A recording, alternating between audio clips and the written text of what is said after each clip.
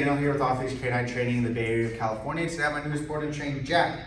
Uh, and he's a almost 40 year old uh, Siberian Husky mix.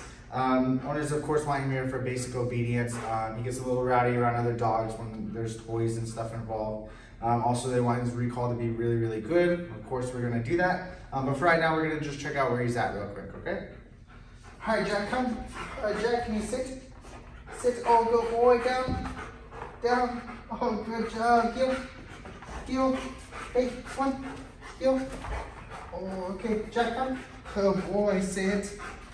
Good, down, down. Oh, there's a little fall. Okay, all right. So I seems to may know a few things, um, but a lot of it's uh, a little shaky. Um, so we're gonna tighten up over those things, tighten up on those things over the next couple of weeks. Uh, so stay tuned for his progress. Thanks, guys. On.